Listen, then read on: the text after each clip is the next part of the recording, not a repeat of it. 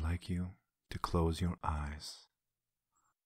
I want you to close both your eyes and put both your hands on your chest. You can put them in the middle or over your heart or wherever you want, but keep your eyes closed. All you can see right now is darkness. Hope is like a candle. The flame that it provides is small and easily snuffed out.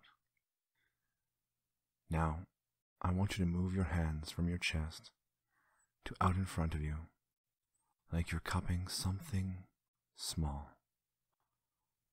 I want you to imagine you're holding a small, little candle in your hands. Try and feel the warmth it gives off. Try and see the small, little flicker of light gives off in your mind. That is hope you are holding. And if you breathe too hard on it, it will go out.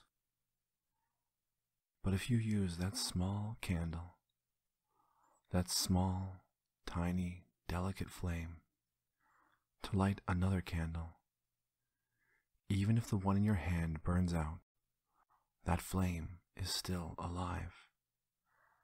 And you can use that one single flame, that tiny little fire in your hands, to light a thousand candles. Now, I want you to open your eyes. Could you feel it?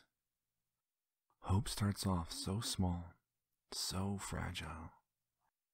But if you foster it within yourself, not only can you use it to grow your own hope by lighting a thousand other candles, but you may even ignite hope in someone else.